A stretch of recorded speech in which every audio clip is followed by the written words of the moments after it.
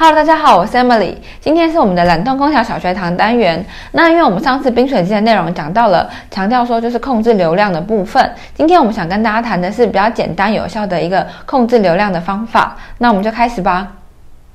那我们可以从这个系统中看到说，我们进水跟回水的管线是沿着同一个方向在输送水的。那我们可以看一下这个图，它是一个四层楼的建筑物。那通过两个 pump 来输送，经过冰水机到每一层楼的冷却盘管，再回流的一个示意图。我们可以从十三点四 A 这张图看得出来说，我们传统的双管配置，也就是说只有进水跟回水管的这个系统，它是会依序先供给冰水到最接近机房的盘管，那出口连接也是。那我们四楼之后会直接返回到。回水主要的这个管路，我们称这种系统为 direct return system。那我们右边这张图可以看到，说这种是那种三管反向返回的这种系统，也就是说最靠近机房的这个盘管出口，我们之后会连接到反向，再返回到主管线。那它的这个管路它会拉的最长，所以我们可以看到下一个投影片话，可以看到说我们可以嗯看图对照说我们这个压力的一个表格。那我们可以从第一层楼开始看。今天我们的 S 代表的就是说，我们冰水机组这个工厂机房中，我们供水集管上的这个水压。那 R 的部分的话，则是指指我们回水集管上的水压。可以看到说，这张图最远的线圈，它的返回主线的这个出口连接端以后。它回来的这个部分的话，我们因为原最最远端的这个回水集管上的水压是 R，那就是我们会我们先假设每一层楼高都是相同的 H，那因为每一个部分每个管线在往上的时候也都会有一个摩擦力，所以从一层到另一层主要输水管摩擦都会有下降。那特别注意的就是说，摩擦压降的部分是发流发生在水流方向上的。所以说，我们可以看一楼的部分，到一楼的这个呃水压的话，照理进水的部分应该就是我们的 S 减掉我们楼高以后再减掉摩擦压差，所以是 S 减 H 减 F。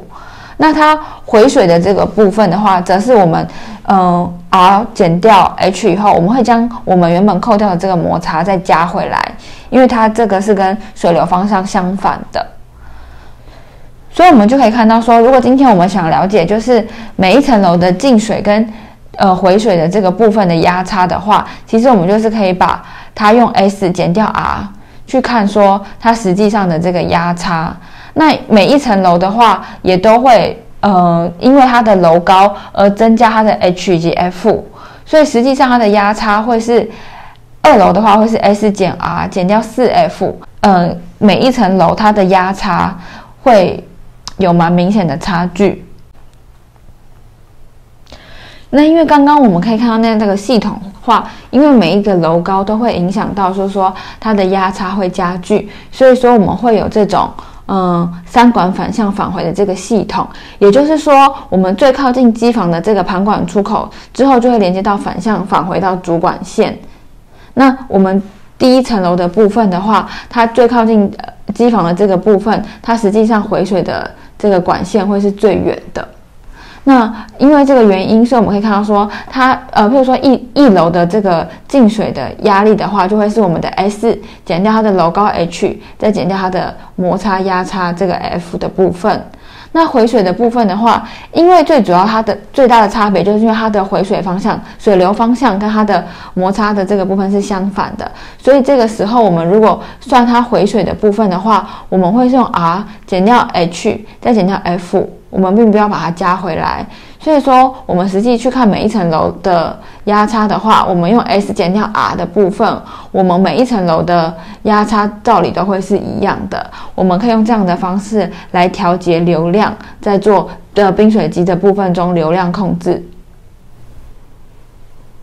不过，就是说，像我们用于工业加工的一些冰水啊，或者说卤水，在某一些我们工业制成部分的话，呃，像是比如说轮胎制造，或是说塑料挤出的这种部分，因为它过程中可能因为我们冰水流量会有很大的变化，比如说某些阶段可能会完全切断流向这个制成设备的这些冰水，或者说一些闭路冷却的管道系统会通过就是可能冰水机或单 pump 循环水一起使用，发生这样类型的这些中断的时候，因为流经冰水机的水会大大的减少，甚至有可能会完全停止，会导致冰水机的水冻结。进而去损坏我们的冰水机，所以说像这种部分的话，我们可能就会连接具有自动旁路的这种装置，bypass 的部分。当我们冰水供应关闭的过程的话，我们这种旁路都可以去照顾到整个冰水的管路，还有冰水机组能够有足够的流量。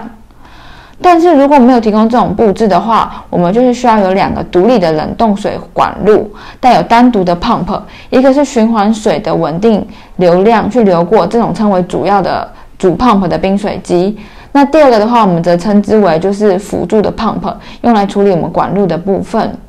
那这两个管路都会通过一个水箱来做连接，这个水箱会有两个隔间，一个隔间是接收来自冰水机的冰水。那第二个隔间则是接收来自制成的这个温水。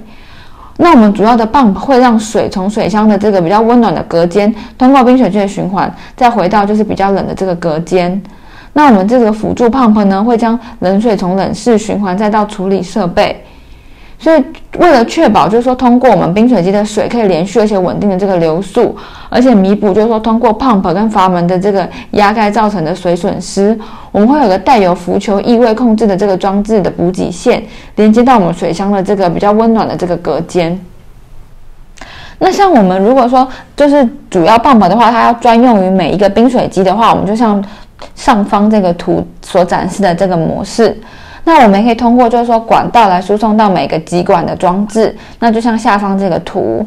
那像集管装置的这个部分的话，就是说我们因为任何一个 pump 都可以向任何一个冰水机提供水，通过这样的这种集管装置，我们还可以增加一个备用的 pump，那它可以就是用于任何一个冰水机，而主要的 pump 的话就可以以恒定的速度来运行，确保说我们经过冰水机的水流量是稳定的。那像这个部分的话，我们基本上都会有以下几个元件来组成，就是说我们每个冰水机都要配有恒定流量恒的这个 pump 跟单向阀，还有我们双通控制阀可以调节流经嗯冷却盘管的冷水量。那再来就是说，我们可变流量的这个二次 pump 是可以对盘管来进行维修，而我们旁通阀就会以液压的方式来对这个主流量跟副流量做每个双向阀。调节通过这个盘管冷却水流量来满足这个负载的时候，我们辅助泵可以通过调节来输送的冷却水量来做出响应。那根据这样子一次侧跟二次侧上的这些水流量，我们水可以根据需要在任何一个方向流经的这个管路来平衡系统。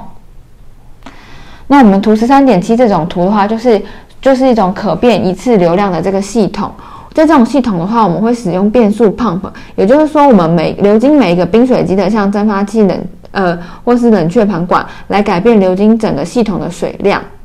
那比较特别注意的就是说，如果我们流经冰水机的流量下降到一定水平的时候，可能会发生就是说冰水机冻结，不仅严重，而且可能会影响到我们就损坏压冰水机的部分。所以我们有必要就是说保持经过冰水机的一个最小流量。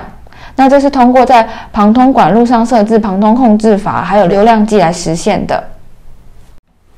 那我们冰水机原理的部分就先到一个段落。那接下来我们会跟大家提，就是说卤水的一个介绍以及它的一些应用。那也欢迎大家要记得订阅我们的频道，才不会错过任何的内容哦。那我们就下次见，拜拜。